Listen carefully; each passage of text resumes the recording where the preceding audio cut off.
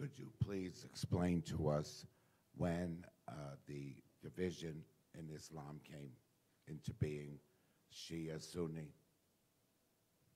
You're not going anywhere from now to like 4 a.m.? you got nothing to do?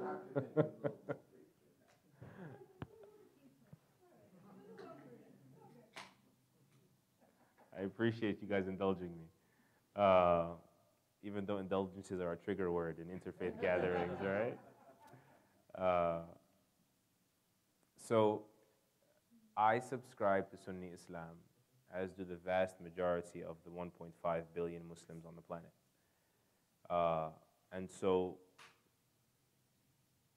I may come off taking sides here a little bit, only because it's very difficult for me to, uh, I guess, advocate or legitimate uh, or justify a, uh, a belief that I, a conviction that I don't have. Okay? Just important disclaimer. Uh, but the word sunnah, sunni, comes from the word sunnah. Sunnah means example. It refers, Islamically, it's, it's a term that refers to the Prophet's example, right? There are people that trace their religious understanding, whether in theology or in practice, all the way back to the Prophet Muhammad, peace and blessings be upon him. And we believe he is the ultimate authority in understanding how we should believe, what we should believe about God, and what God expects of us, and uh, the location of God's pleasure and displeasure, right? The law of God, and all, all that would imply. Whether on, in the ethical sphere, in the ritual sphere, in the transactional sphere between human beings, civil dealings, in the theological sphere, all of it. Uh, and so basically, in principle, they require evidence traceable all the way back to the Prophet Muhammad, peace be upon him, because he was the final prophet. He received revelation from God, and revelation has been sealed after that. Uh, Shiism comes from the word Shia. Shia means supporters, because it first uh, emerged in the time of the fourth successor after the Prophet Muhammad, peace be upon him. Uh, so the Prophet, peace be upon him, died there was Abu Bakr, then there was Omar, then there was Uthman, and then there was Ali. These were all contemporaries of the Prophet Muhammad. These were his companions. These are not next generation. And so the fourth of them was Ali. Uh, may Allah be pleased with him. This is the cousin of the Prophet Muhammad, peace be upon him. Uh, and he saw opposition. He saw uprisings in his time. And so these people uh, that uh, attribute themselves to Ali, they consider themselves the supporters of Ali. So we stand in defense of the legitimate political authority. That's where the Shiite, the supporters, were the supporters of the illegitimate ruler, if you will. Uh, that's where the name first came. Later on, centuries later, to be honest, uh, being a Shiite had uh, very different implications in terms of theology, in terms of believing that Ali and 12 Imams, that's why the, the Shiites, most, the majority of them are known as Imam, imam Imamites, uh, because they believe in 12 infallible Imams. That is, on, on some level, similar to the doctrine of the papacy, of the Pope, that they have revelation from God, if you will, or inspiration from God as to what God wants. The Sunni doctrine does not accept that. We believe that prophets received revelation they are the access point to God. Prophethood has been sealed. And therefore, our tradition must be traced back to the Prophet Muhammad, or it's a it's not religion. It's contrary to that and unacceptable for not uh, fulfilling that requirement. That's basically it.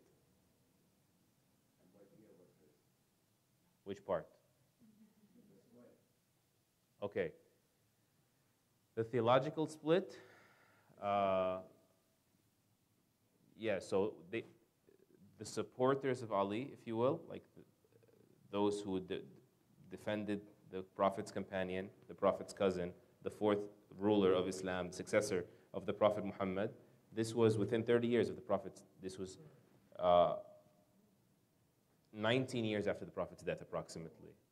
Yes, there was, a, there was an attempted, there was, a, there was an assassination. So there was an attempted revolution, and it failed, but the assassination did work.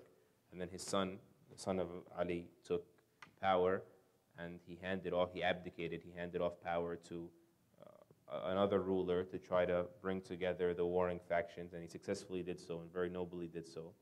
Uh, and so this was all political uh, turmoil. Um, and things went smoothly for another few years, and then the generations would never be as pure as the first generations of Islam. So things uh, became uh, a bit more complicated, a bit more unfortunate.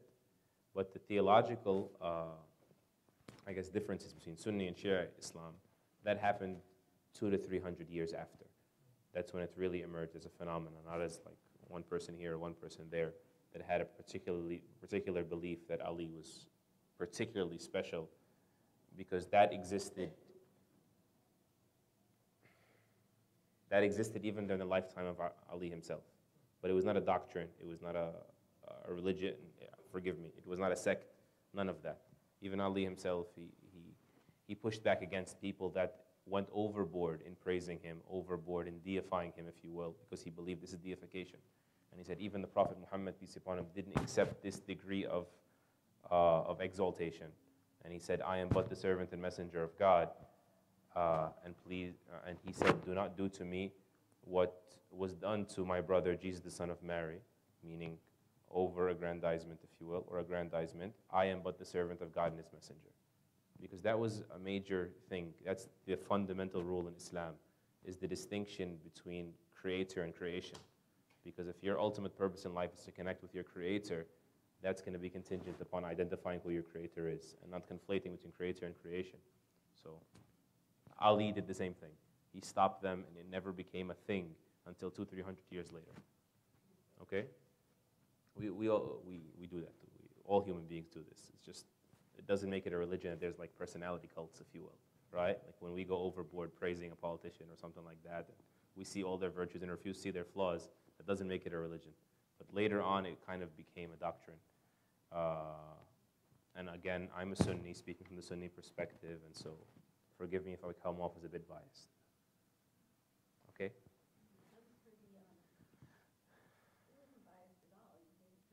maybe if you were Shia, you'd think I'm biased. so let's just try to be fair to them somehow. Uh,